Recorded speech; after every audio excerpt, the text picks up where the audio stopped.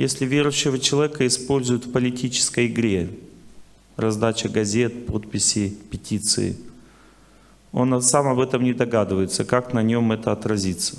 Никак. Если его используют, он не виноват, то никак не отразится. За это будут отвечать те, кто его обманул. Обычно это старшие делаются. Значит, они за это ответят. Понятно?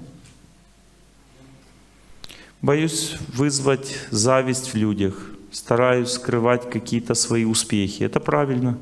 И удачи, и прочие радости. Получается, что это обман. Нет, это мне некомфортно на душе. Это не обман, это здравый смысл. Помните Корейка в этом фильме? Э, он такой миллионер, русский миллионер, скромный очень. Я это видел в Индии. Я когда у меня человек, который ко мне, камни мне приводит, дает камни, вот эти, которые вы ставите. Есть один человек, который собирает эти камни по всему миру, а, породы сам пилит. И э, организует мне, чтобы не гретые камни были. Че? Вот.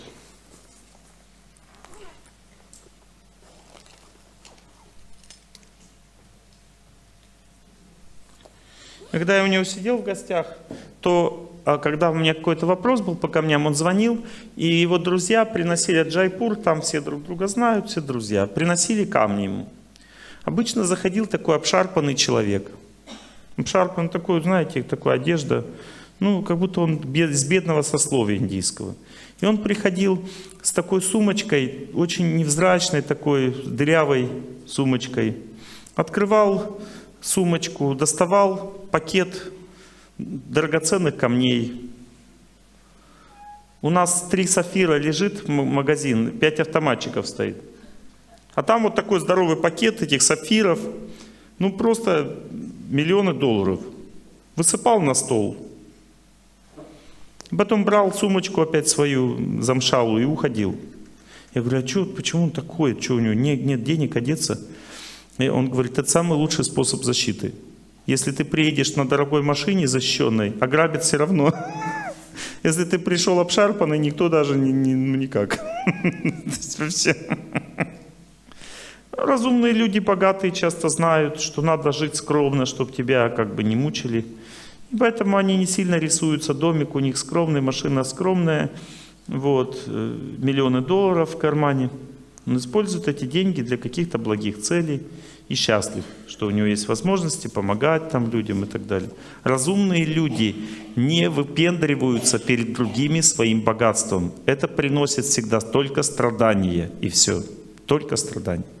Вот ты ставишь дом лучше намного, чем все остальные в деревне, тебе все завидуют до одного.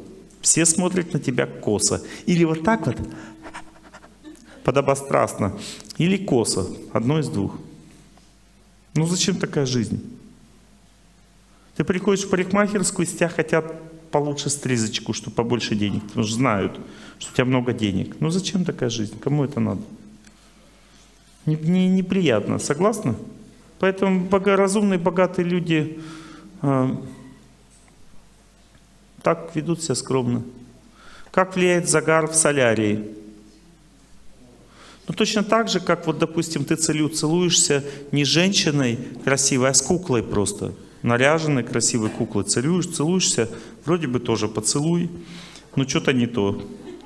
Так и в солярии тоже. Вроде бы спина загорела, но что-то не то.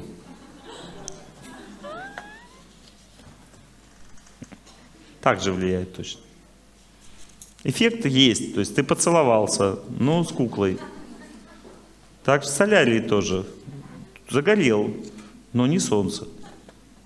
Да? К зависти спокойно относиться. Зависть – это желание отнять у вас ваши грехи.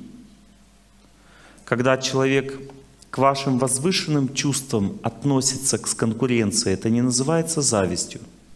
Это называется желанием быть таким же. Ну, кто-то как бы конкурирует, как, допустим, ученики одного духовного учителя. Один служит духовному учителю, другой смотрит.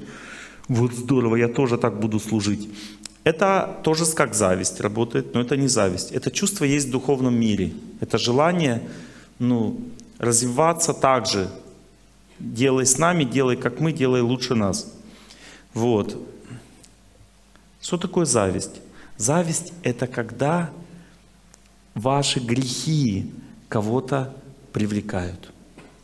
Вот когда грехи привлекают, это рождает зависть. Допустим, ты гордишься своими деньгами, допустим, идешь такой, кто-нибудь смотрит на тебя, опа, а, я тоже так хочу гордиться деньгами. Это рождает зависть. Что такое зависть? Это выскребание у вас из сердца ваших грехов. А? Это так кажется, что не гордишься. Они найдут, найдут, что увидеть.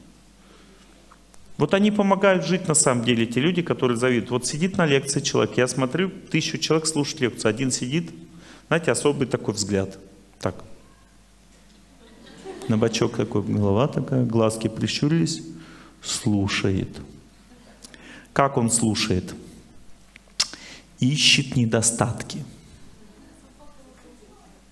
Вот пиявка, допустим, она присасывается куда? Где плохая кровь. Она никогда в хорошее место не присосется. И поэтому это очень хорошая вещь, пиявка. Она полезна для здоровья. Когда человек с завистью слушает лекцию, присасывается, ищет место. Ну, у каждого человека же есть недостатки. Если лекцию разобрать, обязательно там будут какие-то недостатки в лекции. И он сидит, э, глазки защурит и присасывается. Очень хорошо. Он обязательно задаст вопрос туда, где он присосался. И это очень полезно лектору, потому что это даст возможность понять, над чем работать. Когда есть пиявочка хотя бы одна, она очень хорошо лечит. Пиявки нужны. То есть, когда этот человек с завистью присасывается, он берет и всю твою грязь сердце выскребает. Это своего рода очищение сознания. Зависть нужна обязательно для того, кто идет вперед. Нужны завистники обязательно. Да, это учителя, да. Они как пиявки выглядят, но они учителя.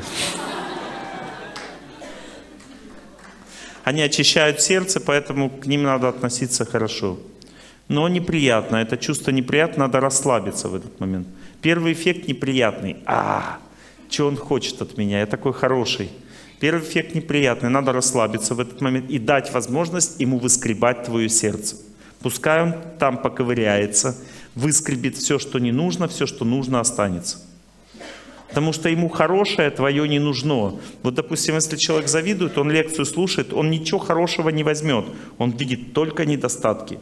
Он выскребает только самые недостатки, и хорошо, пускай недостатков будет меньше. Потому что добрые люди не видят недостатки, их не выскребают, а недостатки копятся все больше и больше у каждого человека. Поэтому нужны обязательно люди, которые завидуют, они помогают. Они санизаторы. Всегда есть санизаторы везде. Те, которые грязь, вот прикасаются к грязи и очищают от грязи. Это очень полезно. Но для того человека, который этим занимается, это деградация. Сам этот человек деградирует, но им помочь невозможно. Надо расслабиться. Я пробовал по-разному, пытался общаться с этими людьми, объяснять, что мне хорошо, тебе плохо. Не воспринимают. Просто хочу критиковать и все. Дай возможность человеку. Ему надо наесться вот этого у тебя. Вот у тебя есть грязь, дерьмо, он хочет это есть. Дай ему возможность, пускай поест. У тебя будет меньше, у него больше. Из всего, из любой ситуации надо какую-то пользу извлекать. Но вариантов нет. Но объяснить ему невозможно просто. И так, и сяк. Но невозможно еще больше зависти возникает. Если ты на него обращаешь внимание, он еще больше, с большим энтузиазмом начинает своим делом заниматься. Надо не обращать внимания на этого человека, соглашаться с ним, всегда соглашаться. И открывать сердце, пускай выскребает. Выскребает, и пускай сердце очистится. Все. Так надо относиться. Разумная скромность как такая, чтобы не сильно много бросалось пиявок на тебя. Вот представьте, вы заходите в озеро, и сразу на вас село 50 пиявок. Ну пусть одна-две сядет. Зачем 50 сразу? Тяжело. Разумная скромность означает, что ты как бы стараешься, чтобы меньше пиявок садилось. Не, не, трудно вытерпеть 50 пиявок сразу. Представьте, здесь в зале половина человек будет сидеть и смотреть вот так на меня, как я лекцию буду читать. У меня, конечно, много там всего можно найти, но лекция не получится. Мне тяжело, я только слово скажу сразу.